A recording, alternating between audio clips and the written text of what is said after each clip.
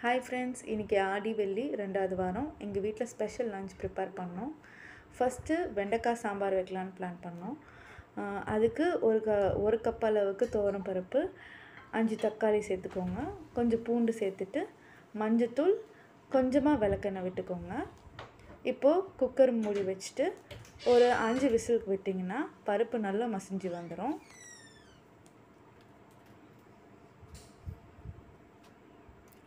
பருப்பு மசிஞ்சதும் மத்து வச்சு நல்லா கடைஞ்சிருங்க.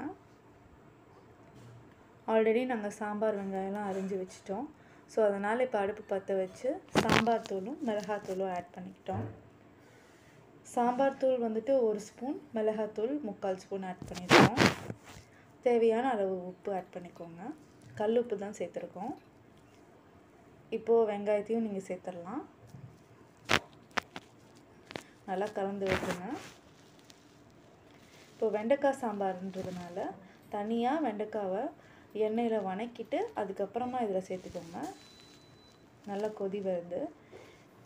இப்போ நெல்லிக்காய் சைஸ் அளவுக்கு ஒரு புளியை கரைச்சி வச்சுருக்கோம். அதை ஆட் பண்ணிவிடுங்க நல்லா பச்சை வாசனைலாம் போனதுக்கப்புறம் புளியோட பச்சை வாசனை போனதுக்கப்புறம் வெண்டைக்காவை ஆட் பண்ணிவிடுங்க நல்லா கொதிக்கட்டும்.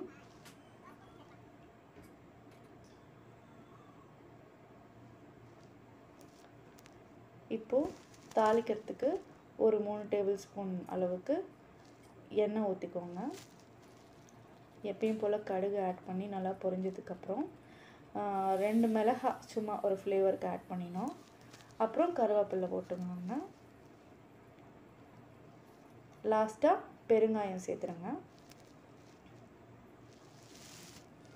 இப்போ தாளிப்பை சாம்பாரில் கொட்டி கலந்து விட்டால் நல்ல ருசியான வெண்டைக்காய் சாம்பார் ரெடி ஆகிடும் நமக்கு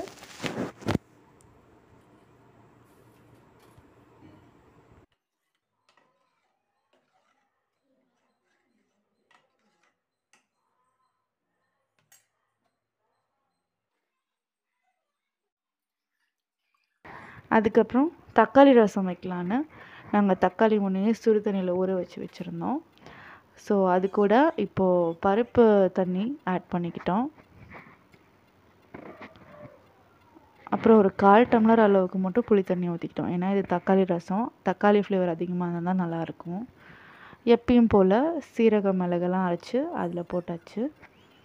அதுக்கப்புறமா கொஞ்சமாக மிளகாத்தூள் தேவையான அளவு உப்பு போட்டு தேவையான அளவு தண்ணியை ஊற்றிக்கோங்க நல்லா இந்த மாதிரி நுரக்கட்டி வந்ததுக்கப்புறம் மூடி வச்சு பக்கத்தை அடுப்பில் ட்ரான்ஸ்ஃபர் பண்ணிக்கோங்க. இப்போது ரசத்துக்கு தேவையான தாளிப்பு பண்ணிடலாம். தேவையான அளவு எண்ணெய் விட்டுக்கோங்க. எப்பயும் போல் கடுகு அதுக்கப்புறமா மிளகாவும் கருவேப்பிலையும் ஆட் பண்ணிக்கோங்க. கொஞ்சம் தண்ணி இல்லாமல் இருக்க மாதிரி பார்த்துக்கோங்க. நல்லா பொரிஞ்சதுக்கப்புறம் ரசத்தில் ஆட் பண்ணிவிடுங்க திரும்பவும் மூடி வச்சுருங்க. தக்காளி ரசம் ரெடி ஆகி அடுத்து பீக்கங்காய் பொரியல் செய்கிறதுக்கு ஒரு பேன் எடுத்து வச்சுட்டு தேவையான அளவு எண்ணெய் ஊற்றிக்கோங்க எப்பயும் போல் கடுகு ஆட் பண்ணிவிட்டு கடுகு நல்லா பொரிஞ்சதுக்கப்புறமா பெரிய வெங்காயமில் ஒரு பாதி சைஸ் வெங்காயமும் அதுக்கப்புறம் அது கூடவே ரெண்டு ஒரு மீடியம் சைஸ் ரெண்டு மீடியம் சைஸ் பச்சை மிளகாவும் ஆட் பண்ணி நல்லா வதக்கி விட்டுருங்க. ரெண்டுமே நல்லா வதங்கினதுக்கப்புறமா ஒரு முழு பீர்க்கங்காயை நாங்கள் இன்றைக்கி சேர்த்துருக்கோம். கொஞ்சம் பெரிய சைஸாகவே கட் பண்ணி போடுங்க. ஏன்னா இது சீக்கிரமாக வதங்கிடும்.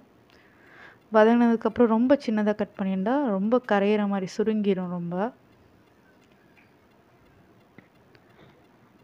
தேவையான அளவு மஞ்சத்தூள் ஆட் பண்ணிவிட்டு நாங்கள் கொஞ்சம் சாம்பார் பொடி ஆட் பண்ணியிருக்கோம். அந்த டேஸ்ட் நல்லா இருக்கணுன்றதுக்காக தேவையான அளவு உப்பு ஆட் பண்ணிவிட்டு எல்லாத்தையும் நல்லா கலந்து விட்டுருங்க. பீக்கங்காய் நல்லா வந்ததுக்கப்புறமா வேக வச்சிருந்த துவரப்பருப்பையும் நல்லா கலந்து விட்டுட்டு அதுக்கப்புறமா தேங்காய் பூ ஆட் பண்ணி ரெடி பண்ணால் பீக்கங்காய் பொரியல் ரெடி ஆகிடும் நெக்ஸ்ட் இப்போது வாழைக்காய் பொரியல் செய்கிறதுக்கும் அதே மாதிரி எண்ணெய் விட்டு கடுகு பொரிஞ்சதுக்கப்புறம் கருவேப்பிலை சேர்த்தும் பொரிஞ்சதுக்கப்புறம் வாழைக்காவை ஆட் பண்ணிவிடுங்க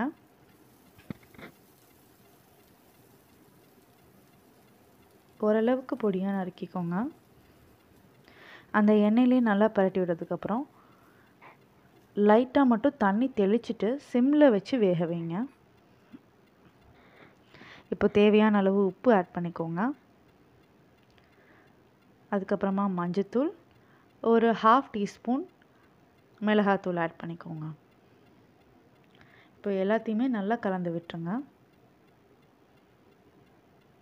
நல்லா வாழைக்காய் அந்த ம மசாலாவோட நல்லா மிக்ஸ் ஆகணும். மூடி போட்டு நம்ம வேக வைக்கணும். தண்ணி ஆட் பண்ண வேண்டாம். நல்லா ப்ரௌனிஷாக மாதிரி கிறிஸ்பியாக வரணும்.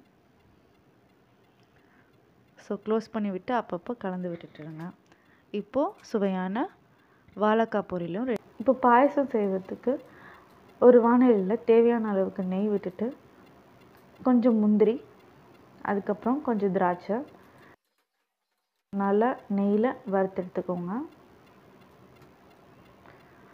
அதுக்கப்புறம் அது வேறு பாத்திரத்தில் ஷிஃப்ட் பண்ணிவிட்டு அதிலே கொஞ்சம் சேமியாவையும் போட்டு அது பொன்னிறமாக வந்ததுக்கப்புறம் அதை எடுத்து ஆற வச்சுடுங்க தனியாக இப்போது ஒரு பாத்திரம் எடுத்து நாங்கள் ஒரு ஒன்றரை டம்ளர் அளவுக்கு பால் சேர்த்துருக்கோம். அதுக்கு ஒரு டம்ளர் அளவுக்கு தண்ணி சேர்த்து நல்லா கொதித்து வந்திருக்கு பால். இப்போது சேமியா ஆட் பண்ணிடுங்க.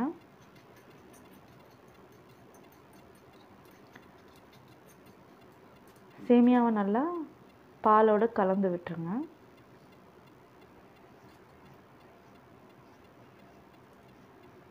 நல்லா கொதிக்கட்டும். ஒரு முக்கால் பதத்துக்கு வந்ததுக்கப்புறம் நான் இன்றைக்கி நூறு கிராம் சர்க்கரை சேர்த்துருக்கேன். நல்லா கொதிக்கட்டும். அதுக்கப்புறம் லாஸ்ட்டாக வறுத்து வச்சுருந்த முந்திரி ஜா திராட்சையை வச்சு இறக்குனா பாயசம் ரெடி ஆகிடும் அடுத்து வடை செய்ய போகிறோம் அதுக்கு வந்து முன்னையே உளுந்து மாவு அரைச்சி எடுத்து வச்சுக்கிட்டோம். ஒரு முக்கால் டம்ளர் உளுந்து அரைச்சி எடுத்து வச்சுருக்கோம்.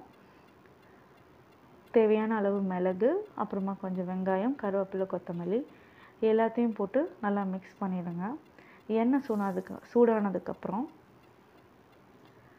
வடையை தட்டி எண்ணெயில் போட்டு பொரித்து எடுக்க வேண்டியது தான் மீடியம் டு லோ ஃப்ளேம்லேயே வச்சுக்கோங்க. ஏன்னா மேலே மட்டும் கலர் மாறிடுச்சுன்னா எடுத்துருவோம் நம்ம பட் பார்த்தா உள்ளார வெந்திருக்காது. ஸோ நல்லா கோல்டன் ப்ரௌனாக வந்ததுக்கப்புறம்